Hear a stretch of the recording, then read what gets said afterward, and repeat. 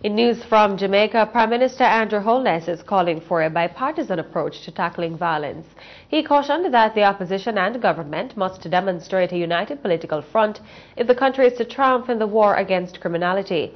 Mr. Holness made his case recently during his contribution to the budget debate in Parliament. He noted that the government is committed to prosecuting those who are bent on causing mayhem in the society. Prime Minister Holness challenged opposition leader Portia Simpson Miller and the opposition spokesman on security Peter Bunting to put politics aside when dealing with the issue of crime.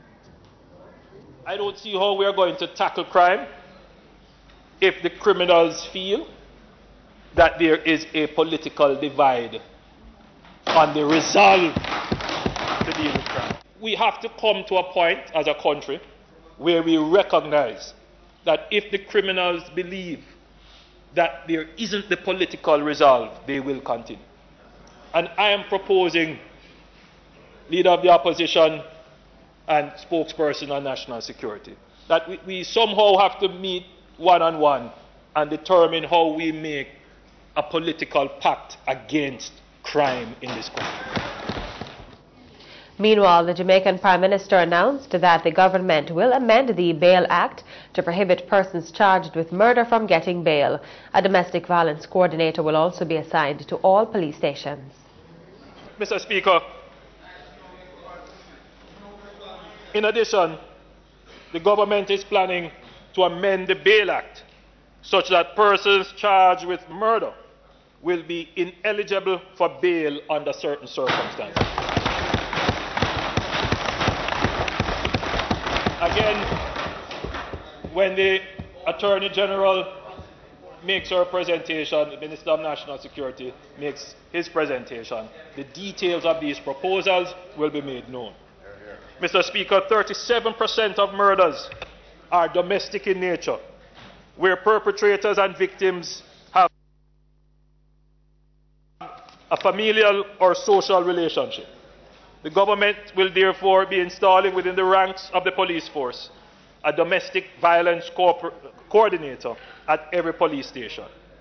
We will also establish a consultative committee at every police station consisting of community leaders such as the Justice of Peace, pastors, school principals, community leaders, etc. Mr. Holness believes that most of the domestic disputes between partners which have ended fatally could have been prevented if there was someone present to provide assistance. Once there is a report to a police station of an incident of domestic violence, the domestic violence coordinator will be alerted.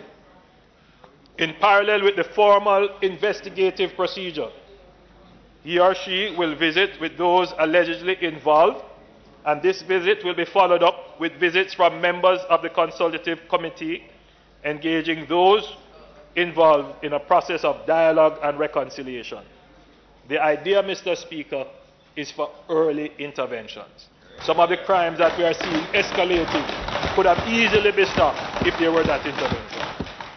And on a lighter note, the Prime Minister hit back at the former Minister of National Security, Peter Bunting, who is now the opposition spokesman on national security. Mr. Holness and Mr. Bunting had a sharp encounter last year in Parliament, while Mr. Holness quizzed him on whether the then government would be accepting the UK prison deal.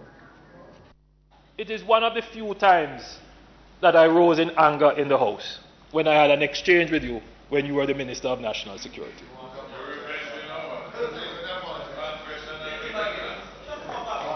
And outside of that, Mr. Speaker, we are, we are very cordial to each other.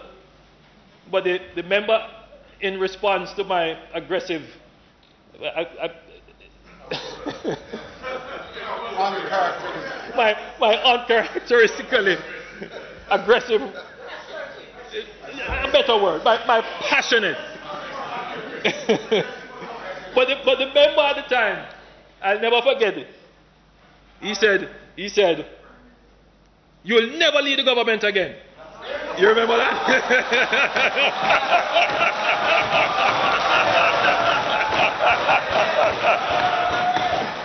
Look at me now. Look at me now. right? And he wants to lead it. He wants to lead it. Remember? Remember? I wish you luck.